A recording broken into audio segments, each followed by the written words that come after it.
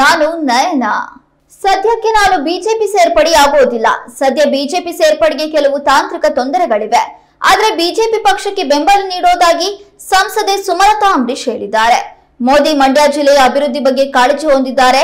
ಲೋಕಸಭಾ ಚುನಾವಣೆ ವೇಳೆ ಬಿಜೆಪಿ ಬಾಹ್ಯ ಬೆಂಬಲ ನೀಡಿದ್ದು ಅಂಬರೀಶ್ ಹೆಸರಿಗೆ ಕಳಂಕ ತರುವ ಕೆಲಸವನ್ನು ನಾನು ಮಾಡೋದಿಲ್ಲ. ಈ ಜನ್ಮದಲ್ಲಿ ನಾನೆಂದು ಕಳಂಕ ತರುವ ಕೆಲಸ ಮಾಡೋದಿಲ್ಲ. ನಾನು ರಾಜಕಾರಣ ಬಿಡ್ತೇನೆ ಹೊರತು ಸ್ವಾಭಿಮಾನ ಬಿಡಲ್ಲ. ಪ್ರಾಣ ಬಿಟ್ಟರೂ ಕೂಡ ನಾನು ಮಂಡ್ಯ ಬಿಡೋದಿಲ್ಲ ಎಂದು ಸಂಸದೆ ಘೋಷಿಸಿದ್ರು.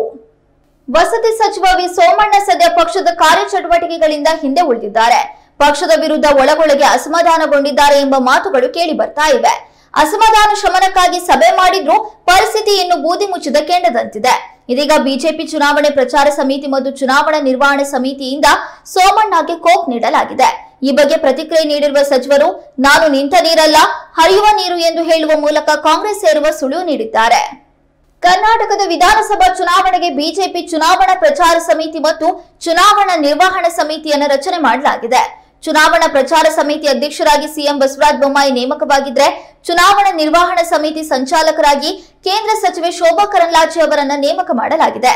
ಬಿಜೆಪಿ ಚುನಾವಣಾ ಪ್ರಚಾರ ಸಮಿತಿಯಲ್ಲಿ ಇಪ್ಪತ್ತೈದು ಹಾಗೆಯೇ ಚುನಾವಣಾ ನಿರ್ವಹಣಾ ಸಮಿತಿಯಲ್ಲಿ ಹದಿನಾಲ್ಕು ನಾಯಕರಿದ್ದಾರೆ. ನರೇಶ್ ಹಾಗೂ ಪವಿತ್ರ ಲೋಕೇಶ್ ಮದುವೆ ಆಗ್ತಾರೆ ಎನ್ನುವ ಸುದ್ದಿ ಈ ಮೊದಲಿನಿಂದಲೂ ಹರಿದಾಡ್ತಾಲೇ ಇತ್ತು. ಈಗ ಇದು ನಿಜವಾಗಿದೆ. ಇವರ ಮದುವೆ ವಿಡಿಯೋ ಇದೀಗ ಸಾಮಾಜಿಕ ಜಾಲತಾಣದಲ್ಲಿ ವೈರಲ್ ಆಗಿದೆ. ಪವಿತ್ರ ಲೋಕೇಶ್ ಜೊತೆ ಸಪ್ತಪದಿ ತುಳಿದ ವಿಡಿಯೋನ ನರೇಶ್ ಅವರೇ ಸ್ವತಃ ಸೋಷಿಯಲ್ ಮೀಡಿಯಾದಲ್ಲಿ ಹಂಚಿಕೊಂಡಿದ್ದಾರೆ. ಜೊತೆಗೆ ಆಶೀರ್ವಾದ ಮಾಡುವಂತೆ ಅಭಿಮಾನಿಗಳಲ್ಲಿ ಕೋರಿದ್ದಾರೆ. ಈ ಹಿಂದೆ ಉಪಮುಖ್ಯಮಂತ್ರಿ ಸ್ಥಾನದ ವಿಚಾರವಾಗಿ ಸಚಿವ ಬಿ ಶ್ರೀರಾಮುಲು ಹೆಸರು ಮುನ್ನೆಲೆಗೆ ಬಂದಿತ್ತು. ಈಗ ಮತ್ತೆ ಚುನಾವಣೆ ಹತ್ತಿರವಾಗ್ತಾ ಇದ್ದು, ಪಕ್ಷ ಅಧಿಕಾರಕ್ಕೆ ಬಂದ ಮೇಲೆ ಶ್ರೀರಾಮುಲು ಅವರಿಗೆ ಡಿಸಿಎಂ ಸ್ಥಾನ ಒಲಿಯಲಿದೆ ಎಂಬ ವದಂತಿಗಳು ಮತ್ತೆ ಇದ್ದಿವೆ ಆದ್ರೆ ಇದಕ್ಕೆ ತೆರೆ ಎಳೆದ ಶ್ರೀರಾಮುಲು ಒಂದು ಹೆಜ್ಜೆ ಮುಂದೆ ಹೋಗಿ ಉಪಮುಖ್ಯಮಂತ್ರಿ ಪಾಳೆಯ ಹೋಗಿದೆ. ಈಗ ಪ್ರಮೋಷನ್, ಈಗ ಮುಖ್ಯಮಂತ್ರಿ ಪಾಳೆಯ. ಪಾರ್ಟಿ ಅವಕಾಶ ಮಾಡಿಕೊಟ್ಟು ಸಿಎಂ ಆಗ್ತೇನೆ ಎನ್ನುವ ಮೂಲಕ ಸಿಎಂ ಆಗುವ ಇಂಗಿತ ವ್ಯಕ್ತಪಡಿಸಿದ್ದಾರೆ. ರಾಜ್ಯದಲ್ಲಿ ಇನ್ನೇನು ಕೆಲ ದಿನಗಳಲ್ಲಿ ವಿಧಾನಸಭಾ ಚುನಾವಣೆಯ ದಿನಾಂಕ ಘೋಷಣೆಯಾಗಲಿದೆ. ಈ ನಡುವೆ ಎಲ್ಲಾ ರಾಜಕೀಯ ಪಕ್ಷಗಳು ಚುನಾವಣಾ ಸಿದ್ಧತೆಯಲ್ಲಿ ನಿರತವಾಗಿದೆ. ಅಂತೆಯೇ ಶಿವಮೊಗ್ಗದಲ್ಲಿ ಕಾಂಗ್ರೆಸ್ನ ಘೋಷಣೆಗಳಿಗೆ ಗ್ಯಾರಂಟಿ ಕಾರ್ಡ್ ವಿತರಿಸಲಾಗ್ತಾ ಇದೆ.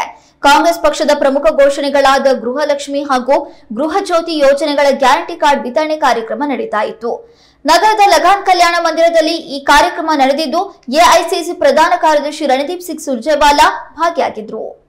ಕಬ್ಜಾ ಹವ ಕರ್ನಾಟಕ ಮಾತ್ರವಲ್ಲದೆ ಬೇರೆ ಭಾಷೆಗಳಲ್ಲೂ ನಿರೀಕ್ಷೆ ಮೂಡಿಸಿದೆ. ಹಿಂದಿ ಚಿತ್ರರಂಗದ ಜನಪ್ರಿಯ ನಿರ್ಮಾಪಕ ಮತ್ತು ವಿತರಕ ಆನಂದ್ ಪಂಡಿತ್ ಕಬ್ಜಾ ಚಿತ್ರದ ಹಿಂದಿ ಭಾಷೆಯ ವಿತರಣೆಯ ಹಕ್ಕನ್ನ ಪಡೆದಿದ್ರು.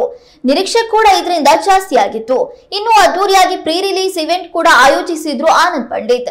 ವಿನೂತನವಾಗಿ ಕಬ್ಜಾ ಸಿನಿಮಾದ ಪ್ರಚಾರ ಮಾಡಲಾಗ್ತಾ ಇದೆ. ಬಾಲಿವುಡ್ ಅಂಗಳದಲ್ಲಿ ಬುಲೆಟ್ ಮೂಲಕ ಸುಮಾರು ಅರವತ್ತು ಬೈಕ್ಗಳಲ್ಲಿ ಎರಡೂವರೆ ಕಿಲೋಮೀಟರ್ ರ್ಯಾಲಿ ಮಾಡಲಾಯಿತು. ಉಪೇಂದ್ರ ಆನಂದ್ ಪಂಡಿತ್ ಬುಲೆಟ್ ಏರಿ ಸವಾರಿ ಮಾಡಿದ್ರು. ಇನ್ನು ಸುದೀಪ್ ಶ್ರೇಯಸ್ ಶರಣ್ ಸಹ ಅವರಿಗೆ ಸಾಥ್ ಕೊಟ್ರು. ಕಾಂಗ್ರೆಸ್ ಮಾಜಿ ಎಂಎಲ್ಸಿ ರಘು ಆಚಾರ್ ನೂತನ ಗೃಹ ಪ್ರವೇಶದ ಹಿನ್ನೆಲೆಯಲ್ಲಿ ಚಿತ್ರದುರ್ಗದ ಬಿಜೆಪಿ ಶಾಸಕ ಜಿಎಚ್ ತಿಪ್ಪಾರೆಡ್ಡಿ ಅವರ ಕಾಲು ಮುಗಿದು ಗೃಹ ಪ್ರವೇಶಕ್ಕೆ ಬರುವಂತೆ ಆಹ್ವಾನ ನೀಡಿದ್ದಾರೆ. ಆದರೆ ಕೈ ಕಾರ್ಯಕರ್ತರು ಆಚಾರ್ ನಡೆ ವಿರುದ್ಧ ಕಿಡಿಕಾರಿದ್ದಾರೆ. ಮುಂಬರುವ ಎರಡು ಸಾವಿರದ ಇಪ್ಪತ್ತ್ ಮೂರರ ವಿಧಾನಸಭಾ ಚುನಾವಣೆಯ ಪ್ರತಿಸ್ಪರ್ಧಿಗಳೆಂದು ಬಿಂಬಿತವಾಗಿರುವ ಬಿಜೆಪಿ ಶಾಸಕ ತಿಪ್ಪಾರೆಡ್ಡಿ ಹಾಗೂ ರಘು ಆಚಾರ್ ಭೇಟಿ ರಾಜಕೀಯ ವಲಯದಲ್ಲಿ ಭಾರಿ ಕುತೂಹಲ ಮೂಡಿಸಿದೆ. ಎಲ್ಲೆಡೆ ಆತಂಕ ಸೃಷ್ಟಿಸಿರುವ ಹೆಚ್ ತ್ರೀ ಎಂಟು ಸೋಂಕಿಗೆ ರಾಜ್ಯದಲ್ಲಿ ಮೊದಲ ಬಲಿಯಾಗಿದೆ.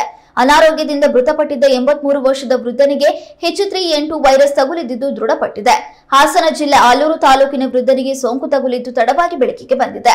ವೃದ್ಧ ಜ್ವರ, ಗಂಟಲು ನೋವು, ಕೆಮ್ಮಿನಿಂದ ಬಳಲ್ತಾ ಇದ್ದು ಹಿಮ್ಸ್ ಆಸ್ಪತ್ರೆಯಲ್ಲಿ ಚಿಕಿತ್ಸೆಯನ್ನ ಪಡಿತಾ ಇದ್ರು. ಮಾರ್ಚ್ ಒಂದರಂದು ಆಲೂರಿನಲ್ಲಿ ವೃದ್ಧ ಮೃತಪಟ್ಟಿದ್ರು. ಬಾರ್ಡರ್ ಗಾವಸ್ಕರ್ ಟೆಸ್ಟ್ ಸರಣಿಯ ಮೊದಲ ಮೂರು ಟೆಸ್ಟ್ಗಳಲ್ಲಿ ಬ್ಯಾಟ್ಸ್ಮನ್ಗಳಿಗೆ ಕ್ರೀಸ್ನಲ್ಲಿ ನಿಲ್ಲುವುದು ಕೂಡ ಕಷ್ಟಕರವಾಗಿತ್ತು. ಆದ್ರೆ ಅಹಮದಾಬಾದ್ನಲ್ಲಿ ಕಥೆಯೇ ಬದಲಾಗಿದೆ. ಅಹಮದಾಬಾದ್ ಟೆಸ್ಟ್ನಲ್ಲಿ ಆಸಿಸ್ ದಾಂಡಗರು ಟೀಂ ಇಂಡಿಯಾ ಬೌಲರ್ಗಳ ಮೇಲೆ ಸವಾರಿ ನಡೆಸಿದ್ದಾರೆ. ಉಸ್ಮಾನ್ ಕವಾಸ ಮತ್ತು ಕ್ಯಾಮರೂನ್ ಗ್ರೀನ್ ಐದನೇ ವಿಕೆಟ್ಗೆ ಇನ್ನೂರ ಎಂಟು ರನ್ ಜೊತೆಯಾಟ ಹಂಚಿಕೊಳ್ಳುವುದರೊಂದಿಗೆ ನಲವತ್ಮೂರು ವರ್ಷಗಳ ನಂತರ ಭಾರತದ ನೆಲದಲ್ಲಿ ಅತಿ ದೊಡ್ಡ ಜೊತೆಯಾಟ ನಡೆಸಿದ ದಾಖಲೆ ನಿರ್ಮಿಸಿದ್ದಾರೆ. ಇದಿಷ್ಟು ಇವತ್ತಿನ ಸ್ಪೀಡ್ ನ್ಯೂಸ್ ಮತ್ತಷ್ಟು ಅಪ್ಡೇಟ್ಸ್ಗಾಗಿ ನೋಡ್ತಾ ಇರಿ Kannada medium twenty four into seven